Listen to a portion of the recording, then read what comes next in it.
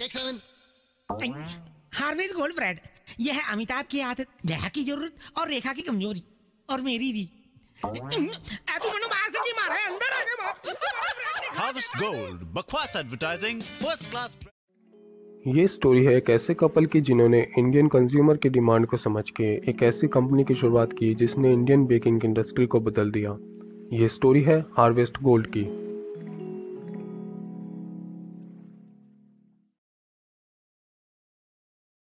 इस कहानी की शुरुआत होती है खोज से।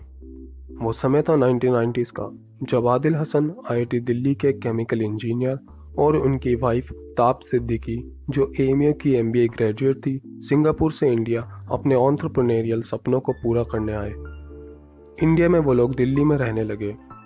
सिंगापुर से आए आदिल और ताप को ब्रेड खाने का बहुत शौक था।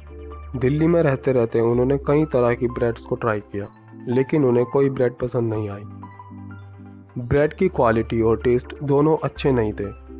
कई कंपनियाँ तो ब्रेड को सिर्फ़ अच्छा दिखाने के लिए बहुत से खतरनाक केमिकल मिलाती थी। उन्होंने देखा कि लोगों को घंटों भर लाइन में लग के डिलीवरी वैन का इंतज़ार करना पड़ता था, सिर्फ़ एक ब्रेड लोफ के लिए। उस समय फ्रेश ब्रेड भी बहुत मुश्किल से मिलती थी। डिमांड हमेशा हाई होती थी और सप्लाई की शॉर्टेज होती थी, जो लोगों को लो क्वालिटी ब्रेड खरीदने पर मजबूर कर देती थी।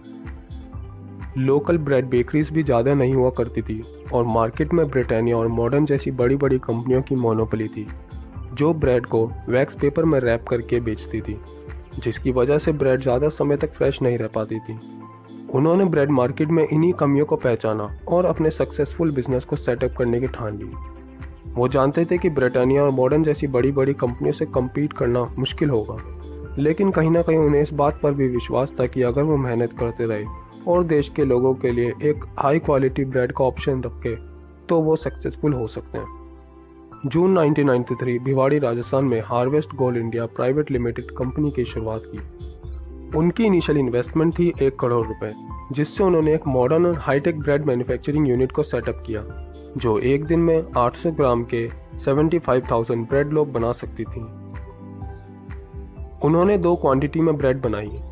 एक 800 ग्राम, जिसकी प्राइस उन्होंने रखी तेरह रुपये और दूसरी 400 ग्राम, जिसकी प्राइस थी सात रुपये इनोवेशन एंड मार्केटिंग शुरुआत से ही हार्वेस्ट गोल्ड ने अपना फोकस ब्रेड की क्वालिटी को बढ़ाने में लगा दिया, और अपने मैन्युफैक्चरिंग स्टैंडर्ड्स को American Institute of Baking Standard के मुताबिक रखा। उनको अपने एक्सपीरियंस से पता था कि वैक्स पेपर रैपिंग से ब्रेड जल्दी खराब हो जाएगी। इसलिए उन्होंने एक इनोवेटिव पैकेजिंग को अपनाया और इंडिया में पहली बार सेलोफेन की ट्रांसपेरेंट शीट में पैक किया। ट्रांसपेरेंट होने की वजह से कंज्यूमर अपनी ब्रेड को बिना खोले देख सकते थे। शुरुआत में उन्होंने ब्रिटानिया और मॉडर्न के डिस्ट्रीब्यूटर के साथ अपनी ब्रेड की सप्लाई की। वो दिल्ली के नरूलास के पास भी गए अपनी ब्रेड को काउंटर पर बेचने के लिए। और यहाँ तक कि उन्होंने हार्वेस्ट गोल्ड की अवेयरनेस और सेल्स को बढ़ाने के लिए ट्रैफ़िक सिग्नल और डोर टू डोर सेल्स भी की। उनकी इस अप्रोच ने काम किया। और हार्वेस्ट गोल्ड की सेल्स दिल्ली और एनसीआर रीजन में बहुत जल्दी बढ़ गई। और पाँच साल के अंदर 1998 में हार्वेस्ट गोल्ड का टर्नओवर 40 करोड़ तक पहुँच गया। लेकिन उनकी इस नई तरह की अप्रोच को देख के दूसरी छोटी छोटी कंपनीज़ ने उनके लोगो डिज़ाइन और यहाँ तक के नाम को कॉपी करना शुरू कर दिया। Honey Dew Gold Golden Harvest Taaza Gold जैसी कई छोटी छोटी कंपनी मार्केट में आ गई। हालाँकि ताब और आदिल को पता था कि उनकी ब्रेड की क्वालिटी सुपीरियर है, लेकिन अब उन्हें कुछ नया करना था, जिससे उनकी ब्रेड घर घर के नाश्ते की प्लेट तक पहुँच सके। उनको एक अच्छी मार्केटिंग और डिस्ट्रीब्यूटरशिप की ज़रूरत थी। 1998 में advertising agency Equus Red Cell के साथ उन्होंने एक फनी एड कैंपेन की शुरुआत की, जहाँ आम कंपनियाँ ब्रेड में सिर्फ़ मिल्क कंटेंट और सॉफ्टनेस की बात करती थी वहीं हार्वेस्ट के 80 और 60 सीसी के प्रिंटेड एड, जिसमें कॉमन इश्यूज़ पे पैरोडीज और कमेंट्स होते, जो हाफ़ इंग्लिश और हाफ़ पंजाबी में होते। हार्वेस्ट गोल्ड का ये advertising style Indian bread industry में बहुत अलग और अट्रैक्टिव था। बकवास एडवर्टाइजिंग फ़र्स्ट क्लास ब्रेड जैसे एड कैंपेन्स ने हार्वेस्ट गोल्ड के नाम को आम जनता की ज़ुबान पर ला दिया था। कैंपेन पूरे एक साल चला और उसकी कॉस्ट थी 27 लाख डिस्ट्रीब्यूशन। जहाँ दूसरी बड़ी कंपनियाँ अपने डिस्ट्रीब्यूशन सिस्टम की वजह से फेल हो रही थी, वहीं हार्वेस्ट गोल्ड की सक्सेस उनके एक्सीलेंट डिस्ट्रीब्यूशन सिस्टम की वजह से बढ़ने लगी। हार्वेस्ट गोल्ड फ्रेश ब्रेड्स को समय पर रिटेल शॉप तक पहुँचा के रिटर्न ऑर्डर को मिनिमाइज करते थे। ब्रेड को सिर्फ़ एक भिवाड़ी प्लांट से सप्लाई किया जाता था, क्योंकि ब्रेड की कंजप्शन सुबह और शाम को ज़्यादा होती थी इसलिए वो दिन में दो बैच में ब्रेड को डिस्ट्रीब्यूट करते थे। सुबह आठ से दस और शाम चार से सात। डिस्ट्रीब्यूशन के लिए हार्वेस्ट गोल्ड ट्रक टेंपो और साइकिल का इस्तेमाल करती थी। ट्रक और टेंपो पे हार्वेस्ट गोल्ड के लोगो प्रिंटेड होते थे, जो मोबाइल ब्रांडिंग का काम करते थे।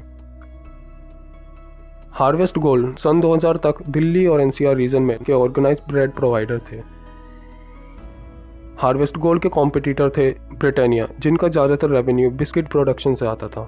दूसरे थे मॉडर्न ब्रेड्स जो तब की हिंदुस्तान लीवर को बिक गई थी और कुछ खास परफॉर्म नहीं कर रही थी। तीसरी थी परफेक्ट ब्रेड्स जो दिल्ली, हरियाणा, राजस्थान के प्रीमियम ब्रेड मार्केट के 45 परसेंट स्टेक कंट्रोल करती थी। लेकिन हार्वेस्ट गोल्ड की इनोवेटिव अप्रोच और अट्रैक्टिव एडवर्टाइजिंग से वो ग्रो करते गए। इसके साथ इंडिया की ब्रेड इंडस्ट्री भी 8 परसेंट पर एनएम की ग्रोथ रेट से ग्रो करती रही। नॉर्मल वाइट ब्रेड के अलावा उन्होंने sandwich bread burger bun brown bread pizza base sweet bun rusk multigrain bread और रेडी रोटी जैसे कई प्रोडक्ट इंट्रोड्यूस किए। 2010 में हार्वेस्ट गोल्ड दिल्ली और एनसीआर के 80 परसेंट मार्केट को सप्लाई करते थे और कंपनी का नेट टर्नओवर था 120 करोड़ रुपए। 2017 में मैक्सिको की कंपनी ग्रुपो बिम्बो जो दुनिया की सबसे बड़ी बेकिंग इंडस्ट्री में से एक है, करीब 340 करोड़ रुपए में हार्वेस्ट गोल्ड के 65 परसेंट कंट्रोलिंग स्टेक्स को खरीद लिया। एक इंटरव्यू में ताप सिद्दीकी अपने स्ट्रगल के बारे में बताते हुए कहती हैं कि मेरे मुँह पर लोगों ने दरवाजे भी बंद किए। रिटेलर्स ने मुझे साफ़ मना कर दिया। यहाँ तक कि मैंने ट्रक पर बैठ के अपनी ब्रेड को उनकी मंजिल तक पहुँचाया।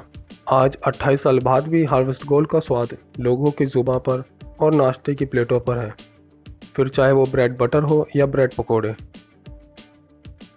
तो ये थी स्टोरी हार्वेस्ट गोल्ड की, जिसने साबित कर दिया कि अगर हम इनोवेशन का सहारा लें और मार्केट की डिमांड को समझ के मेहनत और लगन से काम करते रहे तो सक्सेस को हासिल कर सकते हैं। अगर आपको ये वीडियो पसंद आई हो तो वीडियो को लाइक कीजिए और ऐसी ही और नई वीडियो देखते रहने के लिए चैनल को सब्सक्राइब करिए।